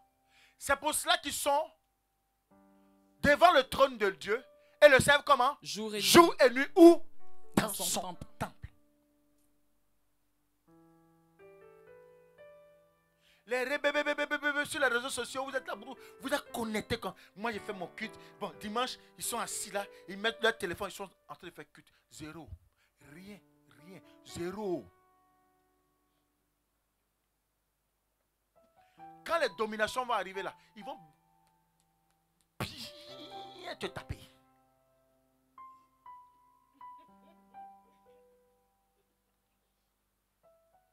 Frère, je vais, encore te- choquer encore. Je vais te choquer encore. Très bien. De ce trône en train de servir Dieu jour et nuit, Dieu va prendre un manteau qui va déposer sur son serviteur. Afin qu'il soit sa représentation dans l'église et dans son trône. De sorte que quand ta vie est en danger, ce qu'il déclarera, c'est ce qui arrivera à ta vie. Mais si tu n'as pas une couverture spirituelle, mon frère ou ma soeur, tu es assis à la maison, tu fais ton culte sur Internet. Quand te dit répéter, tu répètes. Quand tu couches, toi, tu te couches. À la fin du mois, tu lui envoies l'argent. Amen. Tu es en train de te détruire spirituellement. Tu meurs spirituellement. Ça dit que les gens vont venir. La nuit, là, quand tu vas dormir, les dominations couchent avec toi. Parce qu'en réalité, tu ne connais d'Adam ni de. Ça dit que le, le cheminement de cette personne qui se dit homme de Dieu et qui te suit d'après lui, vous vous suivez, il te suit, tu le suis. Tu ne connais même pas son cheminement. Tu ne sais même pas sur quelle domination, sur quel trône il a assis. Il y a des gens aujourd'hui, ils n'ont pas d'église. Ils ne veulent pas faire église. Vous savez pourquoi? Parce que c'est des gens qui n'ont pas en eux le sacrifice et l'amour de l'âme. Pour détruire une âme là, ils s'en foutent. Ils peuvent la détruire à n'importe quel moment. Pourvu que l'âme puisse être une vraie brebis. Mais pas, par- pas, pas parce qu'il a besoin de son âme, mais pour sa chair. Pour ce qu'il lui donne à manger. Est-ce que je peux choquer encore? Je vous, je vous choque aujourd'hui, hein Je vous en prie. Je vous en prie. Si tu n'as pas encore donné ta vie à Jésus, cherche une église vivante que le Seigneur t'aura indiqué. Va donner ta vie à Jésus. Reste dans ce temple-là. Reste là. Installe-toi là. Reste là. Installe-toi là. Qu'on te suive. Qu'on fasse tes prières, tes délivrances. Qu'on te donne la nourriture qu'il faut. Que quelqu'un puisse avoir une autorité sur toi pour te dire ce que tu es en train de faire, c'est pas bon. Fais ça. Aie un guide. Aie un père spirituel qui va t'orienter. Et où tu viens à l'église. Quand vous venez payer votre dîme est-ce que c'est avec moi vous payez la dîme? Vous venez où? Au trône de la grâce. Où Dieu est assis. C'est de ce trône dont on parle. Ou quand tu arrives, tes vêtements, quand ils étaient sales, ils sont blanchis automatiquement. Alléluia. Donc ces histoires d'internet, oubliez ça. Les gens ont trouvé aujourd'hui des malices pour pouvoir tirer de l'argent. Ils n'ont pas d'église. Ils n'ont pas pitié d'une âme. Au commencement, je suis tombé dans beaucoup d'erreurs comme ça. Où j'ai invité des personnes qui n'avaient pas d'église. Mais à partir d'aujourd'hui, j'ai fermé la porte. Il m'appelle, non, quelle est ton église? Tu enseignes qui? Tu prends Fidèle et Jean-Paul, Fidèle et Jean-Pierre, tu fais programme. Toi, tu es là pour les programmes, tu n'as pas d'église. Donc, pour détruire ce que moi j'ai construit depuis 10 ans, tu n'as pas pitié. On sera amis, on peut s'appeler, on va se parler. Si tu viens, je peux t'inviter, tu vas manger. Il n'y a pas de problème. Mais tu ne viendras plus dans mon église.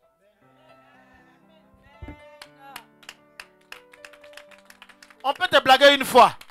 Mais la deuxième fois, sois intègre. Mon enfant, pardon. Afin d'internet, tu quittes là-bas. Cherche-toi un lieu où on prêche Jésus. Je vous dis où on prêche Jésus. Où on t'explique les fondements qui vont te faire sortir de ton blocage. Est-ce qu'on peut donner une gloire à Dieu? Amen. Donne cette gloire à Dieu. Donne cette gloire à Dieu. Est-ce qu'on a fini, ma fille? On, était au verset 16. Continue un peu. Ils n'auront- ils n'auront plus faim. Ils n'auront plus faim. Ils n'auront plus soif. Ils n'auront plus soif. Et le soleil ne les frappera point. Est-ce que vous comprenez un peu? Ceux qui servent le Seigneur, quelle est leur part de récompense? La Bible dit la soif n'est plus pour eux. Ils n'auront plus faim. Et Le soleil, le soleil ne les touchera pas. ni aucune chaleur. ni aucune chaleur. Il insiste. Dit que c'est une forme d'insistance. Que quelqu'un qui est sous le soleil, il y a forcément chaleur. Mais la forme d'insistance dit, j'insiste pour te dire, il n'y a pas la chaleur qui va te brûler. Vous savez, écoutez bien. Je disais à un de mes fils, je dis, vous savez comment Dieu, la prospérité de Dieu fait? Dieu ne descend pas la richesse comme ça. Quelqu'un qui sort comme ça, qui est brutalement riche, hmm, il, faut, il faut faire attention. Vous savez comment commence la- la richesse de Dieu? Elle commence par des faibles commencements. Dieu va te prendre, Guédé viens. Guédé viens, dépêche-toi. Et si on peut acclamer la vie de Guédé?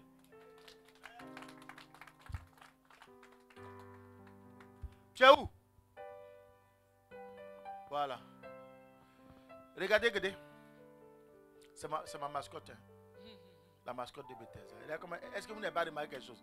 Elle n'a pas changé? Là où elle est là. Là où elle est.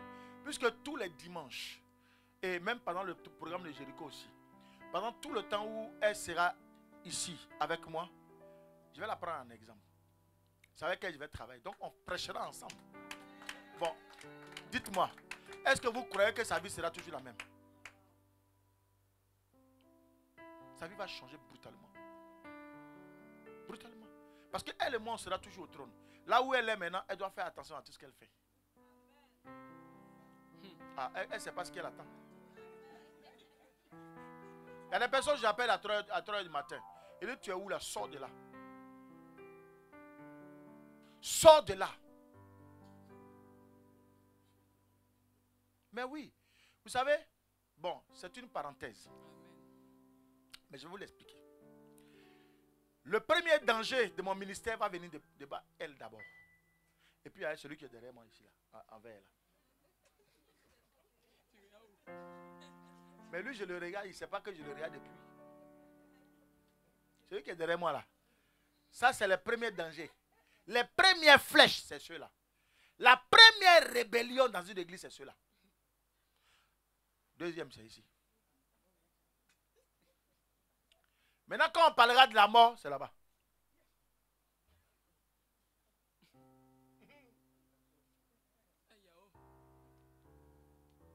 Je vous dis la vérité. Le diable ne cherche pas loin. hein. C'est ceux qui sont auprès de toi que tu aimes là. C'est ceux-là, il prend. Donc elle, là où elle est aujourd'hui, là, puis je la prends en exemple matin, midi et soir. Quand je me couche, je suis elle. Je me réveille, je suis elle. En prière. Tous les jours, je suis elle en prière. Parce que dès qu'elle fait l'erreur nette, je vais savoir. Lui, il a tenté. Il a essayé.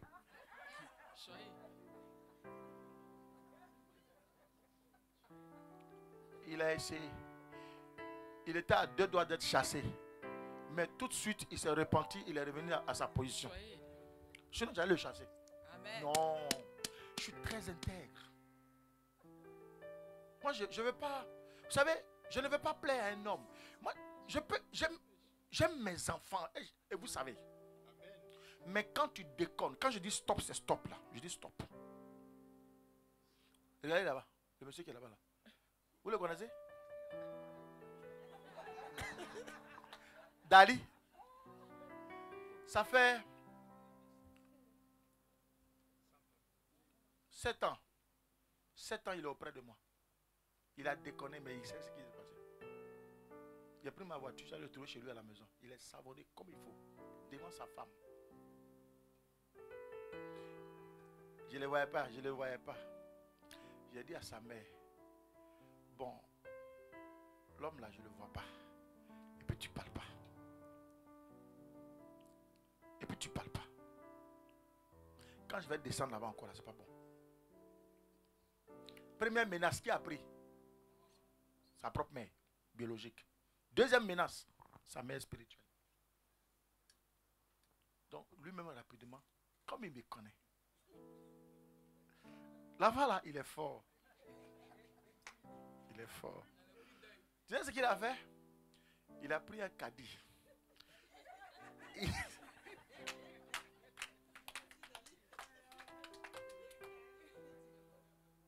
Non, il me connaît. Je ne peux pas voir mon enfant depuis Sarcelles à, à, Aubervilliers. Il a porté le sac de riz sur la tête. Il tient ici, en bus, pas de voiture. Et puis il est venu sonner à la porte.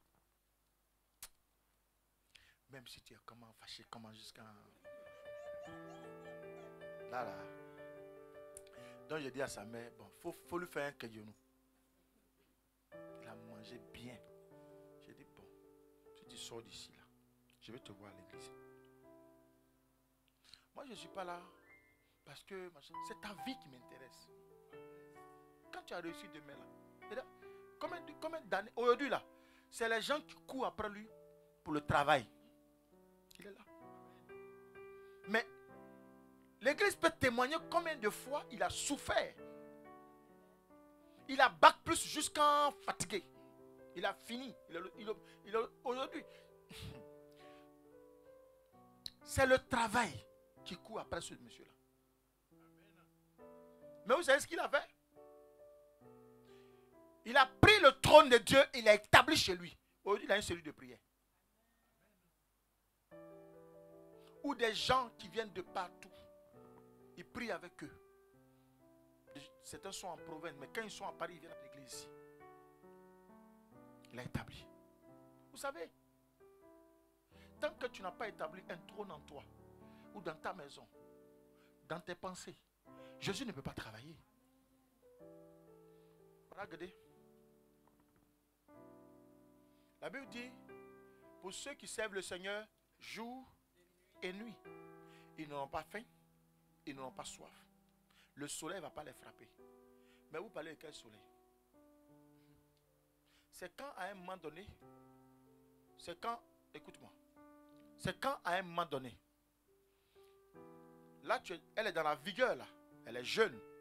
Donc, il y a la vigueur de faire encore. Il va arriver un temps où elle n'aura plus cette vigueur. Amen. Donc, ce qu'elle aura sémé, ce sera le temps de la moisson. Le temps de la moisson, c'est un temps où tu es fatigué. Tu as atteint un âge de la retraite. Où tu sais que tu ne peux plus courir comme tu courais avant. Parce que tu as travaillé dans la maison de Dieu. Où tu as travaillé auprès du trône. Et le trône doit parler maintenant en ta faveur. C'est là la Bible dit, tu n'auras pas faim, tu n'auras pas soif, le soleil ne va pas te toucher. Parce que Dieu va permettre que tu puisses construire une maison, des enfants réussis. Tu as maintenant un revenu convenable où tu es couché comme ça, dans ton hamac, et puis tu balances comme ça. Ta piscine est à côté. Pourquoi? Parce que tu as pris le temps de servir Dieu jour et nuit. Donc, c'est domination qui t'empêchait dans la. qui te- qui faisait que tu ne. tu- tu- C'est-à-dire que tu ne pouvais pas voir la richesse. Finalement, ça va t'accompagner. Ça te suit. Ça te suit. Donc, vous voyez, ce qu'elle est aujourd'hui, petit à c'est en train de partir. hein. Là, elle avait peur, cheveux coupés. Maintenant, elle a mis. Ça a poussé. Ça a poussé. Oui. Les cheveux ont poussé. Elle est, tu vois, tout est bien. Sinon, le, premier jour, là, elle était venue en guine. Tout machin. Mais là où vous voyez, regardez, dans peu de temps, le mariage arrive. Amen, hein? Vous voyez, le trône, le trône, ça te met à l'abri. Ça te met à l'abri. Si tu n'es pas avec le trône de Dieu, c'est que tu es dans un autre trône. Donc c'est ce trône-là qui va parler contre toi. Mais ce que je souhaite, c'est que tu sois avec le trône de Dieu. Est-ce que tu peux acclamer Jésus? Amen. Est-ce que tu es dans la joie ce matin? Est-ce que tu es dans la joie ce matin? Donc vous voyez que quand vous, avez- vous êtes dans le trône de Jésus, son sang n'a pas de limite. Son sang peut toucher toutes sortes de nations. Ça dit que tu peux être ici et puis mettre fin à toute, for- à toute forme de, de domination qui te fatiguait depuis des années. Même s'il est dans un trou de rat, le sang va le, va le trouver là-bas pour le neutraliser. Amen. Alléluia. Alléluia. Amen. Le sang, même si ta vie avait connu, vous savez aussi, je vais un peu insister sur ce- cet aspect-là. Faites beaucoup attention aux relations sexuelles. Je vais insister là-dessus. Faites beaucoup attention aux relations sexuelles. Il y a beaucoup, beaucoup, beaucoup de trônes qui parlent sur les relations sexuelles. Les gens, c'est-à-dire point 8, tu rencontres une femme aujourd'hui, tu ne la connais même pas, tu ne sais même pas d'où elle sort, pour où tu rentres. Tu réfléchis même pas. Pour toi, c'est une bonne opportunité. Les relations sorcières ne sont pas des opportunités. Ça peut être des opportunités de trône du diable. Il y a des gens qui avaient une portée d'élévation. Une. euh, Qu'est-ce que je veux dire? Un avenir meilleur. Qui ont rencontré les femmes qu'il ne fallait pas. Et dont la vie a basculé. Alléluia. J'ai trop d'exemples. Certains hommes qui étaient riches, forts, qui étaient bien posés, dès qu'ils ont rencontré la femme qu'il ne fallait pas. Et il y a des gens qui croient qu'ils sont toujours malins. Dans les relations sexuelles, ils croient qu'ils sont toujours malins. Ils vont feinter les gens. Hein? Non, non, c'est, on, on peut, on peut se cacher là. C'est-à-dire, en fait, c'est des gens qui sont insatisfaits. Et puis, il y a une autre génération qui aime le risque. Là où il n'y a pas feu, là, eux, là où du moins il y a le feu, là, c'est là qu'ils aiment bien partir. Ils savent que la relation est dangereuse. Si, on apprend là, c'est pas bon pour aimer.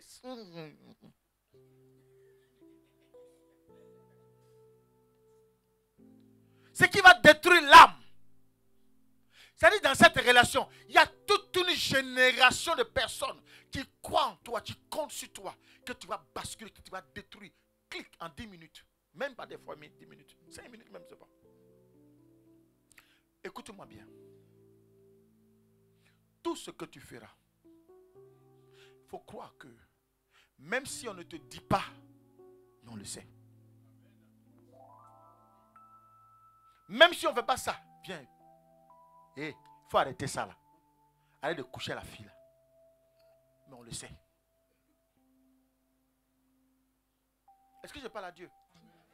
Une véritable église, c'est une église éclairée par le Réma. Dieu, c'est tout. Mais ce qu'il nous donne, c'est de t'aider à sortir dans ta position. Pour ne pas que tu y demeures. Parce que ça va te nuire. Il y a des relations dans lesquelles les gens sont rentrés.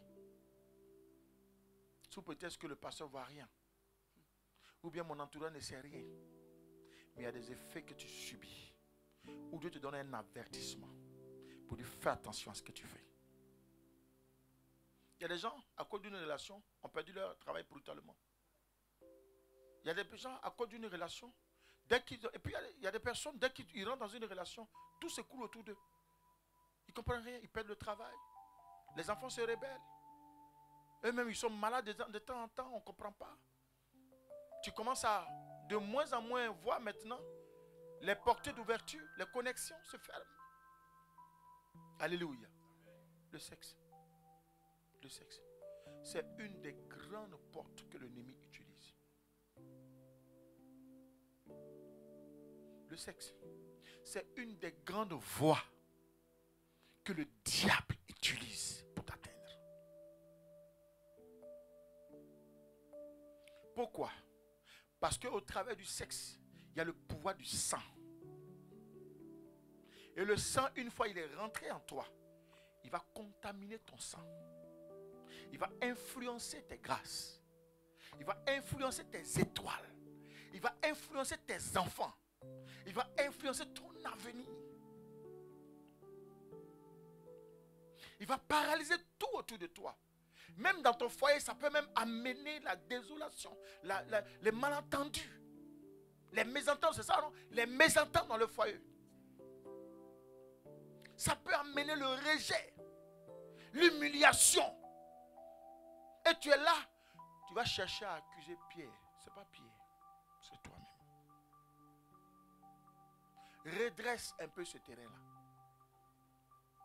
Si tu veux avoir longue vie, si tu veux avoir des bénédictions qui vont demeurer en toi, c'est vrai, il y a beaucoup d'hôtels. Mais l'hôtel qui parle négativement sur la vie des hommes de Dieu ou des enfants de Dieu, c'est les relations sexuelles. Parce que c'est des relations qui ont tendance à tout de suite se focaliser d'abord dans vos pensées. Et quand tu vois les rondeurs, ou quand tu vois l'argent, tu n'as plus de limites. C'est des portes d'ouverture, je vous en prie. Comme je l'ai dit, a des prédestinations sur chaque personne, sur chaque vie. De bénédiction, d'élévation, de prospérité. Dieu n'a créé personne maudit. Faux. Personne n'a été créé maudit. Je vous le dis aujourd'hui. Mais c'est nos actes qu'on pose. C'est ça qui nous ouvre les voies de malédiction. Fais en sorte que toute ta maisonnée ne soit pas éclaboussée à cause de ta bassesse. Juste 10 minutes. Juste une heure. Et après, c'est le regret à vie. Fais en sorte. Alléluia. Fais en sorte. Fais en sorte. Fais en sorte. Fais en sorte. Dieu te donnera l'opportunité aujourd'hui de te repentir. Certainement, tu es face à une opportunité de réussite. Une grande clé que Dieu t'a donnée. Mais parce que tu n'as pas maîtrisé ton élan sexuel, tu es rentré dans la bêtise. Dieu sait. Il voit. Et toi-même, tu sais que tu es dedans. Sors. Dieu te donne l'opportunité de sortir. Si ton homme ne sait pas s'habiller, il faut lui apprendre. Si ta femme ne sait pas se vêtir, il faut lui dire habille-toi comme ça. Moi, ça me plaît. Si tu n'es pas encore marié, attends le temps de Dieu. Ne tourne pas autour de celui qui va t'envoyer un billet, deux billets. C'est pour t'envoyer l'envoûtement. C'est pour t'envoûter. Il n'y a rien. Comprenez aujourd'hui que retenez dans cet enseignement la puissance du sang. Le sang ne vient pas pour, pour, t'enrichir. Il y a seul le sang de Jésus, comme on l'a dit tout à l'heure, qui vient t'enrichir. Mais les autres sangs, quand ça vient, quand c'est fait illégalement, c'est du sang qui vient t'empoisonner. C'est du sang qui vient mettre la barrière entre toi et Jésus. Donc, à partir d'aujourd'hui, prends une résolution. Il n'y a aucune, il n'y a aucune difficulté que Jésus vienne te donner dont il n'a pas la solution. Il n'y en a pas. Mais toujours est-il que, est-ce qu'on peut être ferme? Est-ce qu'on peut être intègre? Redresse ta vie. Alléluia. Nous pouvons acclamer le Seigneur.